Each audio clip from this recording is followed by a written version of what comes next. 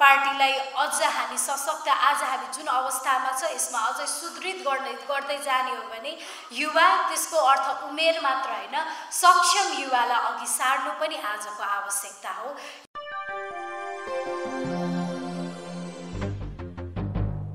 दिन चाहन्छु र सँगसँगै एउटा भनाइबाट पनि सुरु सुरु गर्न चाहन्छु। Empowered woman always empower women भनिन्छ। एक सक्षम महिलाले धेरै महिलाहरूलाई सक्षम बनाउन सकिन्छ भनिन्छ।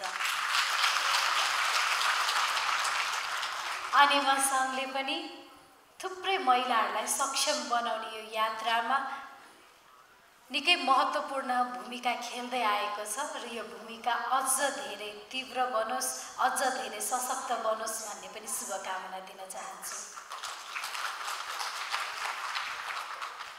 सोसियलिस्ट फेमिस्ट फेमिनिस्टले के विश्वास गर्छ भने जबसम्म महिलाहरू आर्थिक रूपमा अरूमा निर्भर भइरहन्छ तबसम्म घरदेखि हरेक समाज हरेक तहमा महिलाहरू भने जहिले पनि दमनमा बसिराख्नुपर्छ।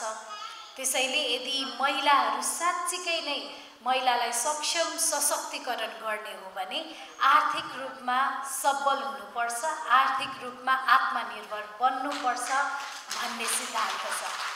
र त्यो सिद्धान्त सिद्धान्त मात्र नभएर यथार्थ पनि हो।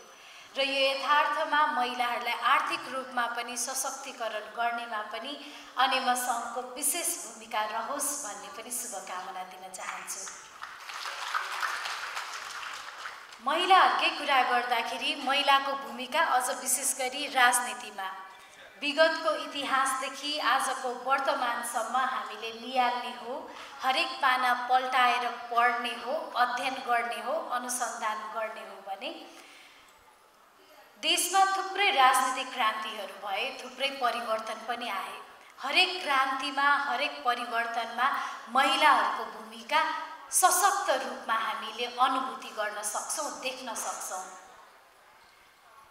चाहे त्यो दुई सय वर्ष अगाडि जुन बेलामा बेलायती उपनि निवेशवाद विरुद्ध नालापानीको लडाइँ भएको थियो त्यो समयलाई सम्झिँदाखेरिदेखि लिएर सय वर्ष अगाडि जुन बेलामा योगमाया न्युपानेले सामाजिक रूपान्तरणको लागि क्रान्ति हाँकिरहँदा त्यो सँगसँगै राणा विरुद्धको लडाइँमा होस् या भनौँ पञ्चायतलाई अन्त्य गरी बहुदलीय व्यवस्था ल्याउनको लागिदेखि लिएर आजसम्म या भनौँ सङ्घीय लोकतान्त्रिक गणतन्त्रको व्यवस्था हुन्जेलसम्म हरेक लडाइँ हरेक क्रान्तिमा हेर्ने हो भने महिलाहरूको भूमिका अझ धेरै फराकिलो अझ धेरै सशक्त बन्दै गएको हामीले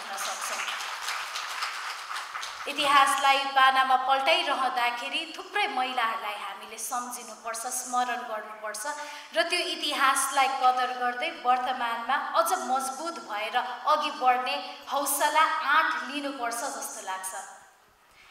शिक्षाकोमा विशेष गरी महिला शिक्षाको क्षेत्रमा पुर्याउनु भएको योगदान चन्द्रकान्त र त्यसै गरी स्थानीय सरकार या भनौँ त्यो बेलामा नगरपालिका हुँदाखेरि पहिलो निर्वाचित महिला साधनादेखि लिएर पार्लियामेन्टमा पहिलो निर्वाचित महिला द्वारिका र त्यो सँगसँगै स्नेहलता श्रीमायादेखि लिएर हामीले साहना प्रधान त्यसै गरी हामीले सम्झिने थुप्रै व्यक्तिहरूमा हामीले अर्को सम्झिनु पर्ने नाम भनेको मङ्गला देवी।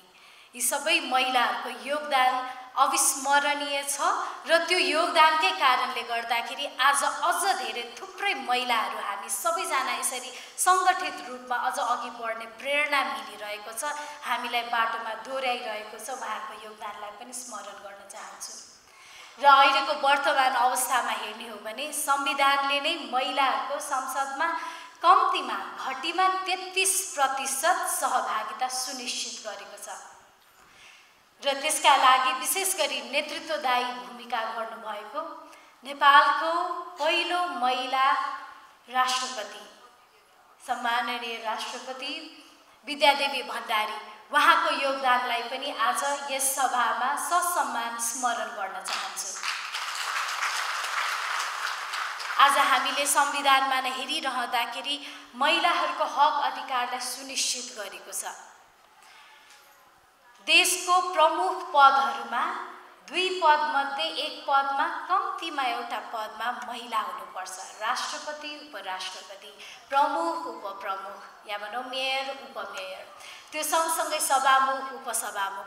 सबैमा कम्तीमा एकजना महिला हुनुपर्छ भन्ने व्यवस्था यस्ता व्यवस्थाले गर्दाखेरि पनि महिलाहरूलाई अवसर प्राप्त भएको छ जिम्मेवारी वहन गर्ने मौका पनि पाएको छ। र त्यसै कारणले गर्दा थुप्रै महिलाहरूले आफूले गर्न सक्ने क्षमता देखाउने अवसर पनि प्राप्त भएको छ। अझै पनि पितृसत्तात्मक समाजमै छौँ हामी र के भनिन्छ पितृसत्तात्मक समाजमा भने? Men is considered as competitive until proven otherwise and women are considered as incompetitive until proven otherwise. day पुरुष हुने बित्तिकै कम्पिटेटिभ हुन्छ भनेर पहिल्यै विश्वास गर्छौँ यदि त्यो आफ्नो कम्पिटेन्सी क्षमता देखाउन सकेन भने मात्रै होइन रहेछ भन्छौँ अरे महिलालाई चाहिँ पहिला सक्षम छ होइन? सक्षम छैन सक्षम हुनको लागि प्रुभ गर्नुपर्छ भन्ने समाजमा छौँ हामी। र यो समाजको यो यथार्थ या भनौँ यो नेरेटिभलाई चिर्नको लागि पनि यो व्यवस्थाको निकै महत्त्वपूर्ण भूमिका पनि छ।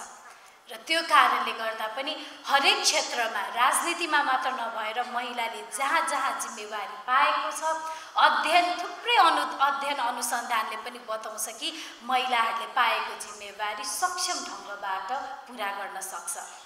चाहे त्यो टेक्निकल क्षेत्रमा होस् चाहे त्यो आर्थिक क्षेत्रमा होस् सामाजिक क्षेत्रमा होस् या राजनीतिक क्षेत्रमा होस्। थुप्रै डक्टर्सहरू हेर्छौँ। महिला डक्टर्सहरूले यति धेरै नाम उच्च पार्नु भएको हामीले उदाहरण हेर्न सक्छौँ। इन्जिनियर्स लयरदेखि लिएर एस्ट्रोनट एस्ट्रोनटदेखि लिएर अहिले एआईमा शुद्ध पनि महिलाको भूमिका निकै नै सशक्त बन्दै गइरहेको छ। अझ यसलाई अब्बल ढङ्गबाट नेपालमा हाम्रै समाजमा पनि अघि बढाउनुपर्छ। त्यसमा पनि अनिमा सङ्घको प्रमुख भूमिका र नेतृत्वदायी भूमिका रहोस् भन्ने पनि शुभकामना दिन चाहन्छु। यसै गरी हाम्रा पार्टीका श्रद्धेय अध्यक्ष पूर्व प्रधानमन्त्री कमरेड केपी शर्मा ओली उहाँले देख्नुभएको सपना र उहाँले मात्र देख्नुभएको होइन पार्टीले नै देखिए देखेको सम सपना समृद्ध नेपाल सुखी नेपाली। समृद्ध नेपाल सुखी नेपालीको यो नारा तब यथार्थमा बदल्छ जब महिला र पुरुष सँगसँगै एकजुट भएर अघि बढ्छ। महिला अघि बढ्नु भनेको पुरुषलाई पछाडि पार्ने कदापि होइन। महिला र पुरुष सँगसँगै एकै रथको दुई पाङ्राको हिसाबले हामी अघि बढ्न सक्यौँ। एकअर्कालाई साथ दियौँ भने बल्ल हामीले सोचेको समृद्ध नेपाल सुखी नेपालीको परिकल्पना यथार्थ हुन सक्छ र हामी सबैजनाले भन्दै आएको मिसन चौरासीमा हामीले एकजुट भएर लाग्ने हो र सँगसँगै त्यति मात्र नभएर युवा पुस्तालाई पनि सँगसँगै लग्नुपर्ने आवश्यकता छ। पार्टीलाई अझ हामी सशक्त आज हामी जुन अवस्थामा छ यसमा अझै सुदृढ गर्ने गर्दै जाने हो भने युवा त्यसको अर्थ उमेर मात्र होइन सक्षम युवालाई अघि सार्नु पनि आजको आवश्यकता हो। यो कुरालाई पनि हामीले मनन गर्दै अघि बढ्नुपर्छ र अनिम सङ्घमा पनि अझ धेरै नयाँ अनुहारहरू पनि देखोस् र सँगसँगै अनिम सङ्घबाट र पार्टीका हरेक सङ्गठनमा पनि युवाहरूलाई ग्रुम गर्दै लैजानु पर्ने पनि आवश्य आजको आवश्यकता छ। हामीले समयमा ग्रुम गर्दै नलजा नलग्ने हो भने हामी धेरै पछि पर्छौँ।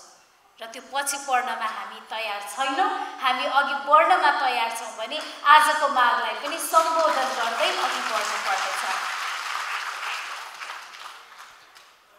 र सँगसँगै अहिलेको युवालाई स्वागत गर्ने हो पार्टीमा हामीले स्वागत गर्दै जाने हो भने हामीले प्रोफेसनलाई पनि सँगसँगै जोड्दै लैजानुपर्छ र दिनचर्यालाई पनि राजनीति सँगसँगै जोड्दै लैजानु पर्नेछ र हामी घर घर दैलो दैलोमा जानुपर्ने र हाम्रो पार्टीको महत्त्व झल्काउनु पर्ने कामहरू गर्नका लागि डटेर लाग्नुपर्ने पनि आजको आवश्यकता छ। यो डटेर लाग्नुमा पनि हामी सबैजना एकजुट हुनुपर्छ जस्तो लाग्छ। हामी जुन जुन ठाउँमा जुन जुन क्षेत्रमा जुन जुन भूमिकामा छौँ त्यही भूमिकामा हामीले हन्ड्रेड पर्सेन्ट दिँदै जानुपर्ने पनि आजको आवश्यकता हो। र यो जान सकोस् भन्ने पनि शुभकामना दिन चाहन्छु। काठमाडौँ महानगरपालिकाले विशेष गरी अझ महिलाहरूको लागि महत्त्वपूर्ण भूमिका निभाउनुपर्छ। महिलाको सहभागिता सहभागिता मात्र होइन अर्थपूर्ण सहभागिता हुनुपर्छ भन्ने कुरालाई अगाडिदेखि यो कुरालाई यो भोइस यो आवाजलाई उठाउँदै आएको। र उपप्रमुख भइसकेपछि पहिलो दिनमा निर्णय गरेकी थिए। हरेक ओडामा ओडा महिला सञ्जाल सञ्चालन हुनेछ र हरेक ओडा महिला सञ्जालमा नेतृत्वदायी भूमिका ओडा सदस्य महिला ओडा सदस्यले गर्नेछ भनेर त्यो निर्णय गरेकी थिए। र आज काठमाडौँ महानगरपालिकामा बत्तिसैवटा ओडामा महिला जनप्रतिनिधिहरूले भने उहाँहरूले नेतृत्वदायी भूमिका पाइराख्नु भएको छ। उहाँहरूको सहभागिता हरेकमा सहभागिता मात्र होइन। उहाँहरूको अर्थपूर्ण सहभागिता सुनिश्चित गर्ने पाइला चालेका छौँ त्यति मात्र नभएर केही समय अगाडि मात्र काठमाडौँ महानगरपालिकाले हामीले पहिलो राष्ट्रिय सम्मेलन न्यायिक समितिको सम्मेलन पनि गऱ्यौँ र त्यस सम्मेलनमा पनि विशेष गरी धेरैजनाले भन्नुभएको थियो यो त देशभरिको महिला भेला जस्तै भयो पनि भन्नुभएको थियो। हुन त उपप्रमुखहरू देशभरि अधिकांश महिला हुनुहुन्छ। र त्यहाँ पनि महिलाले भोगिरहेको आवाजदेखि लिएर न्यायिक समितिका अहिलेको अवस्था के छ हुनुपर्ने के हो र अब गर्नुपर्ने मार्गदर्शन कुन हो भन्ने विषयमा पनि हामीले काम अघि सारेका थियौँ र त्यसबाट पनि देशैभरिको न्यायिक समितिलाई अझ अब्बल बनाउन सक्षम बनाउन र एकरूपता ल्याउनमा पनि मुख्य भूमिका खेल्दै गइरहेको छ र यसलाई निरन्तर रूपमा अघि बढाउने पनि यहाँलाई जानकारी पनि गराउन चाहन्छु। यसै गरी थुप्रै कामहरू हामीले मिलेर गर्नुपर्ने कामहरू छन्। ती मिलेर गर्नुपर्ने काममा एक आपसमा मैत्री भाव राख्नु जरुरी छ। त्यो मैत्री भाव सदैव कायम रहोस्। यो सम्मेलनमा यो पनि शुभकामना दिन चाहन्छु। जब नेताले नेता हुनुपर्ने व्यवहार उदाहरण बनिन्छ अनि नयाँ पुस्तालाई त्यो उदाहरणले दोहोऱ्याइरहन्छ। मन वचन कर्मले पनि नेताको जस्तो व्यवहार भइदियो भने नयाँ पुस्तालाई म पनि यस्तै बन्छु है भन्ने ऊर्जा थप्छ। त्यो पनि यो सङ्गठनले सङ्घले दिन सकोस् भन्ने पनि कामना गर्न चाहन्छु।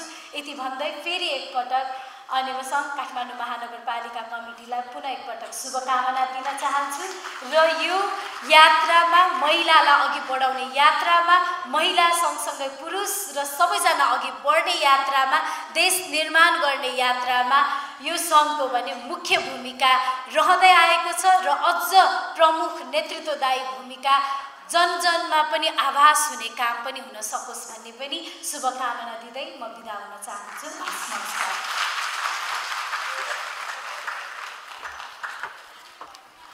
धन्यवाद।